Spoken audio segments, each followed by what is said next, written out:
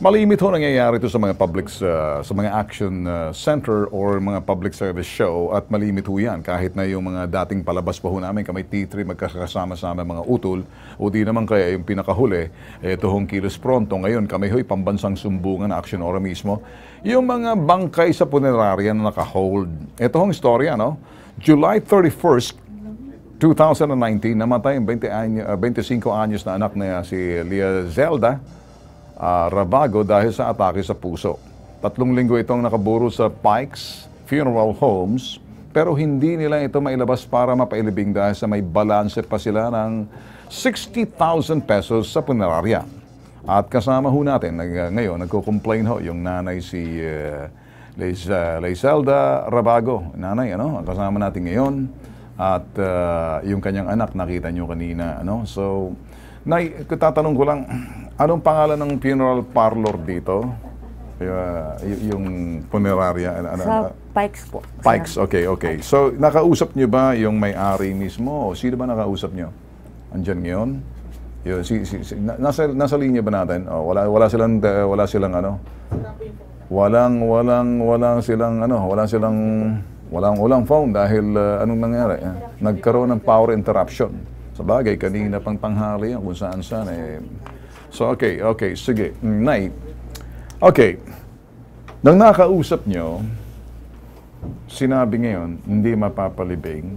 Opo, sir. Tapos sabi po niya, oh, sabi po, yung nakausap, kasi yung pumunta doon, yung bayaw ko lang po. Kasi naghanap po ako ng, ano sir, ng iba pang paraan na, ano, naglakad-lakad din ako na makagawa pa ako ng kung anong, ma, Okay, Oo, magagawa ma- ng... ma- ah, makagawa ko din ng paraan na baka sabi ko nagsakali din ako sa iba kung saan saan ako pumunta. Di sila naman muna nagkausap doon sa Pikes. Mhm. Hindi talaga pumayag. hindi pumayag. Hindi po. Mhm. Bakit daw hindi sila Na, pumapayag? ang sabi po sa kanila na talagang gawaan nyo ng paraan. Sabi.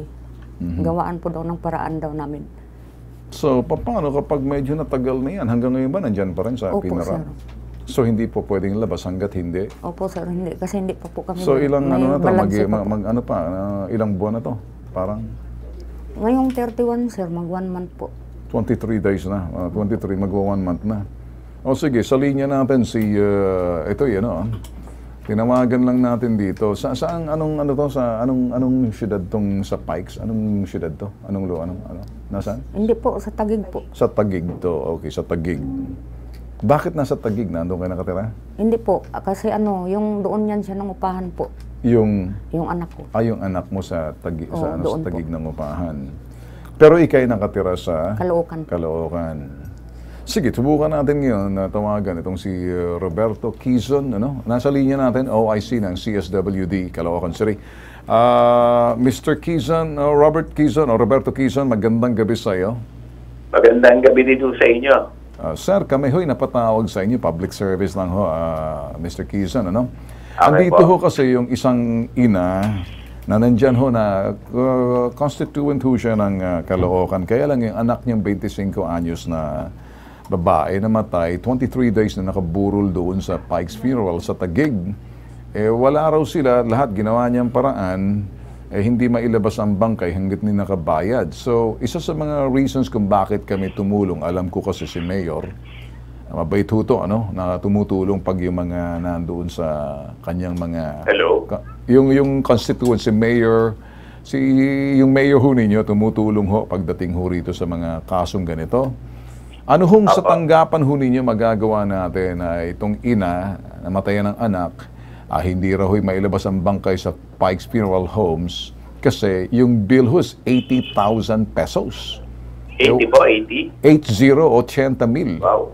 Kaya Apo. malaki. Kaya ayaw ilabas habang tumatagal, lumalaki lalo. Ah, Ah, ano hong sa palagay nyo kaya maitutulong natin dito, sir, kung pag-uusapan yung ina na... ah, siguro, ah, kakausapin ho natin, no? Ah, magbibigay po tayo ng tao, yung mga social worker natin, Mhm. na makipag-ugnayan doon sa punerarya. Mhm. At ah, kung pwede, alamin kung bakit gano'ng kataas at ah, humingi ng discount. Mhm, mhm. Pangalawa po, ay lalapit natin sa People's Day ni Mayor Oka Malapitan Okay. ah, para umabigyan ng financial assistance. Ano? Mm. Okay, Dalawa okay. ho kasi ang People's Day ng Caloocan pagka Siga District 1. No? Mhm. Siga District 1 po siya. Okay. Isa ho yung kay Congressman Along Malapitan at Okay. kay Mayor Oka. So, Okay, okay, pwede ho silang parehong humingi ng tulong doon. Okay, okay. Ano Aside kasi... from that, Okay. makikipag-ugnayan din po kami dun sa national government, yung DSWD, Mhm. ah, para din ho sa dagdag financial. No? Kasi Okay. mukhang yun ho ang kailangan nila para Okay. maipalibing yung bangkay. Okay. Lumalabas ho kasi ano ah Sir, eh, ano, ano, Mr. Kizon, eh, 1,200 pesos a day ang ah, gastos lagi. Ha? Lumalaki ng lumalaki. Kaya importante rito yung mapatigil. Tinatawagan ho namin, medyo wala hong line lang, ano, ah, hindi may power interruption kasi hindi namin makontakt. Pero gusto rin ho namin tumulong. Ipinaabot lang ho Apo. namin sa inyo dahil alam ko naman ho masyadong matulungin ho yung inyong ano, si Mayor. At madali ho talagang malapitan sa apelyido pa lang. Kaya Mayor malapitan eh. Tama po. paabot na lang sir, ano, kami kumakatok sa inyo, tutulong din ho kami sir, ano, medyo eh, medyo eh, nagka-problema lang sa linya ng telepono dun sa funeral parlor na gusto namin makausap para makahiringi ng discount. Tutulungan na lang ho tayo siguro sir para dito sa magulang ano. Tama po yun. Opo. Malaki po talaga may tutulong nyo. No? Kasi normally ho, ang mga funeral parlor, Mhm, pagka alam mhm. na yan na ho, nakatutok na ho kayo, Mhm. eh, malaki ho ang naibibigay na discount. Okay. Ay, tama ho Oo, yan, sir. Okay, tama, tama rin ho yan. Tsaka medyo pag tumatagal ho kasi ang bangkay, eh, hindi na rin ho pumapayag kahit ang DOH eh, pag ganyan, eh, hindi na ho basta-basta pag nag-isang buwan na. Hindi na rin Yes ho po. siguro, eh, kumbaga, kung sa sanitation and health, eh, hindi na ho Ah. papasayan. Kasi alam ko siguro, sir, kahit sa, sa Caloocan, hindi nyo papayagan pag ganun katagal na eh. Oo, humingi na ho kami ng order sa health department namin pagka ganyan. Yung sa decomposition po kasi, Mhm, mhm.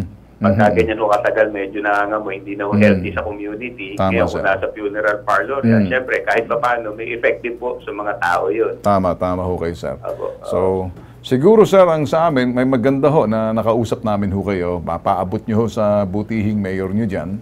Makikipagtulungan na rin ho kami. Ta, siguro, pati rin ho doon sa, pag mga ganito ho kasi, mga health uh, office na yan, at saka sa ano, eh, nako, Jesus.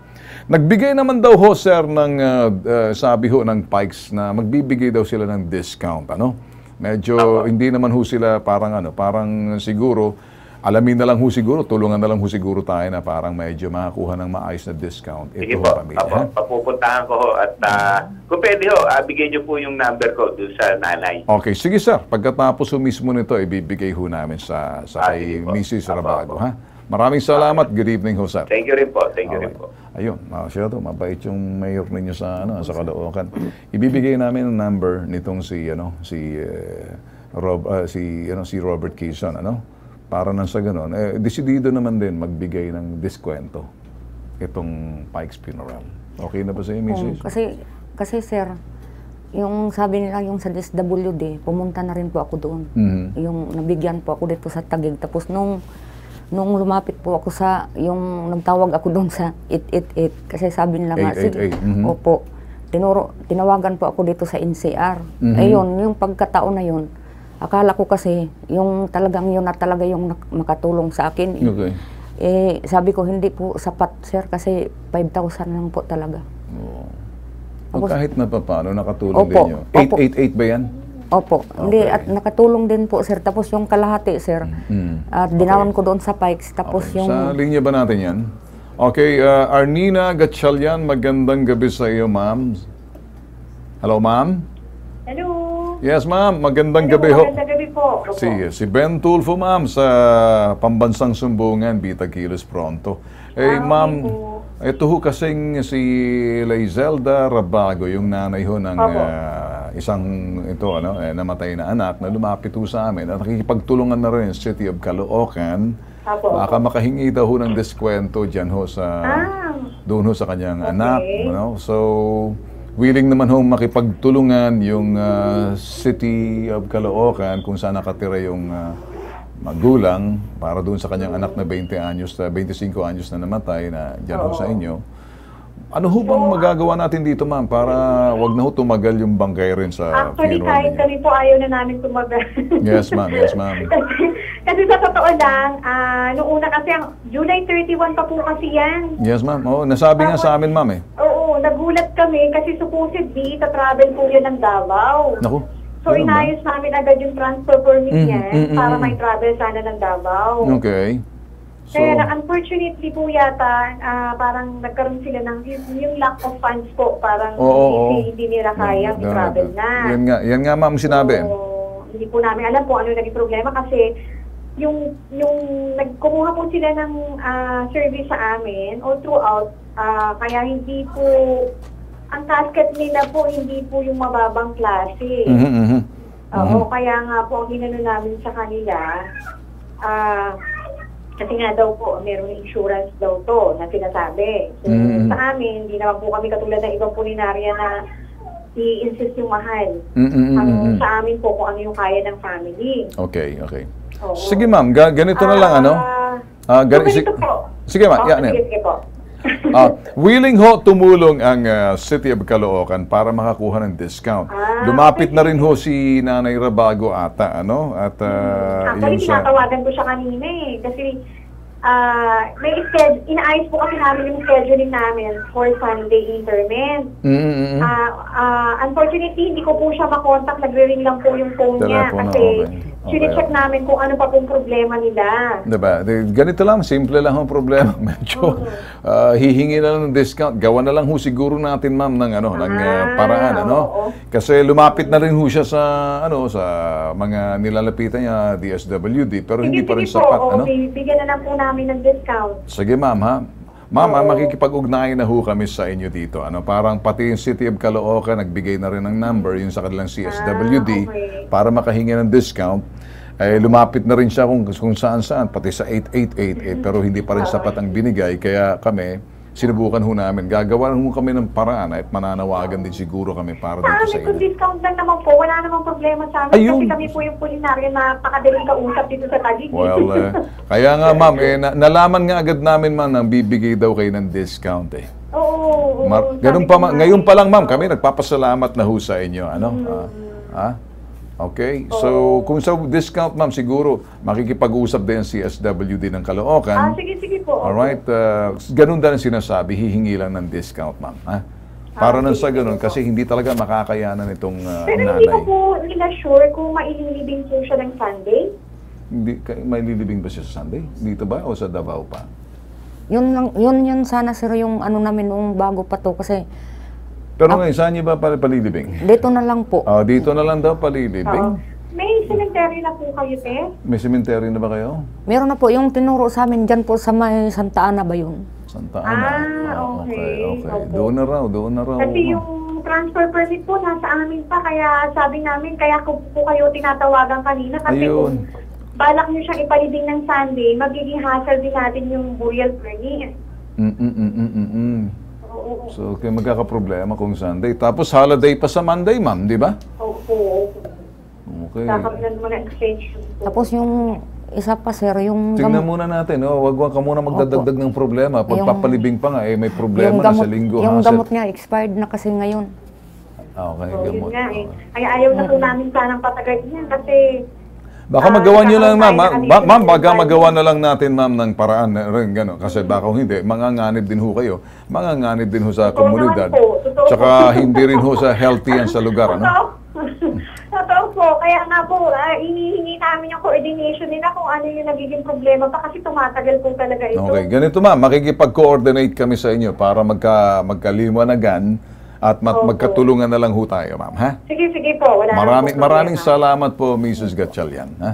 Opo, okay Alright, po. okay. Sige. Thank you O, po. ganito lang, tutulong na lang kami para medyo hinahanap ka pala. Eh, nagbago na, Davao dito na lang ililibing. Opo, sir. Kasi ganun, kasi magkakaproblema. Tagal na kasi, ha? Okay? Opo, sir. Alright.